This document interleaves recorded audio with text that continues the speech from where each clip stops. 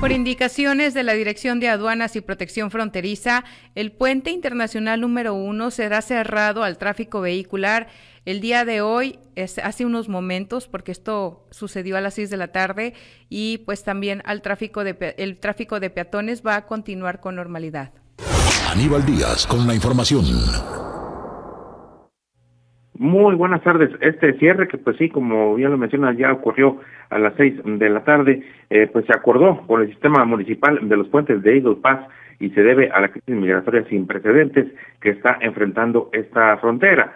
Esto permitirá garantizar que se mantengan las instalaciones seguras y a los oficiales en la disposición de apoyar a sus compañeros instalados en el segundo cruce de ocurrir alguna situación de urgencia.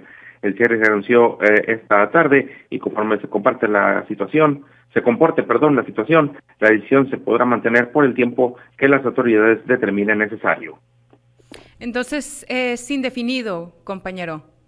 Sí, de manera indefinida, y pues como bien lo menciona Nadia, eh, pues eh, eh, ha sido cerrado el tráfico vehicular, mientras que el tráfico de peatones va a seguir con normalidad. Y la gente que acostumbre a cruzar a pie el puente pues no tendrá inconveniente alguno, pero sí el tráfico vehicular estará cerrado de manera indefinida.